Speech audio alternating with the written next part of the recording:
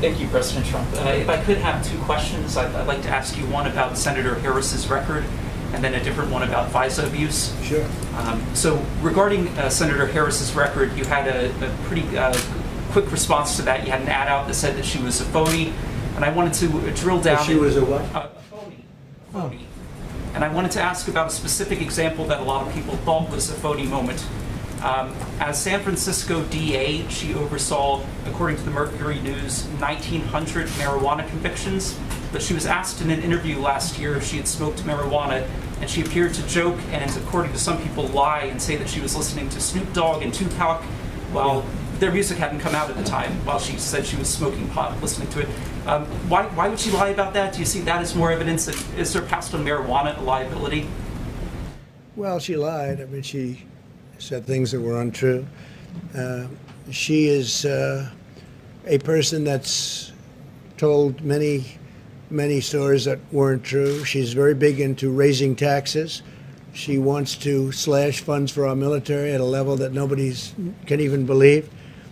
She uh, is against fracking. Fracking is, she's against petroleum products. I mean, how do you do that and go into Pennsylvania or Ohio or Oklahoma or the great state of Texas? She's against uh, fracking.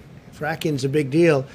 Uh, she's in favor of socialized medicine, where you're going to lose your doctors, you're going to lose your plans. She wants to take uh, your health care plans away from 180 million Americans.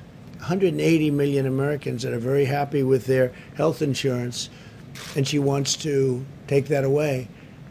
So she was my number one pick. I mean, she was, as they would say, because hopefully you'll start college football, she was my number one draft pick. And we'll see how she works out. She did very, very poorly in the uh, primaries, as you know. She was expected to do well, and she was she ended up at right around two percent, and spent a lot of money. She had a lot of things happening, and so I was a little surprised that he picked her. I've been watching her for a long time, and I was a little surprised. She was extraordinarily nasty to uh, Kavanaugh, Judge, Judge Kavanaugh then, now Justice Kavanaugh. She was nasty to a level that was just uh, a horrible thing. The way she was, the way she treated now Justice Kavanaugh, and I won't forget that soon. So she did very poorly in the primaries, and now she's chosen. So let's see how that all works out. of marijuana legalization vote for you rather than her because she convicted so many people in the past? Uh, I can't tell you what she's voting for. I don't think she knows what. I think Joe knows even less than she does. But I was a little surprised at the pick. A lot of people were saying that might be the pick. I was more surprised than anything else because she did so poorly. Many people did much better than her in the primaries. She did very poorly in the primaries. And that's like a poll. You know, that's like a poll.